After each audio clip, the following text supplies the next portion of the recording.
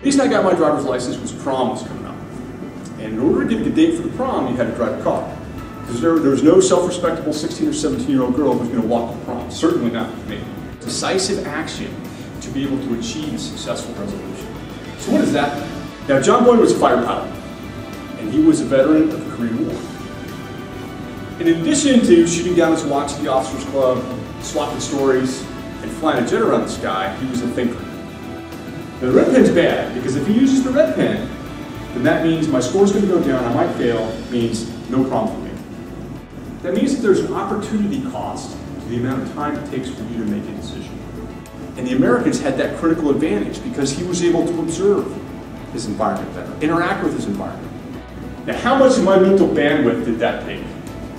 How difficult was it for me to make that cognitive decision and enact that action to be able to stop the car in the right spot? It took all of it. You were there and you weren't allowed to make that decision. Then what's going to happen is time is going to pass until someone gets there to be able to take care of that crisis or someone allows you and empowers you to make that decision. Opportunity to interact with this environment, then you are going to be able to make him respond to your decision. Listening to the radio, not even paying attention to all those signals that took all of my bandwidth when I was 16. Because you've taken that difficult task and you've made it intuitive.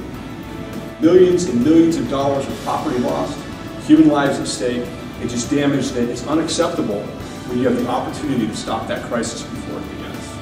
What are you doing that reinforces your ability to accomplish that objective?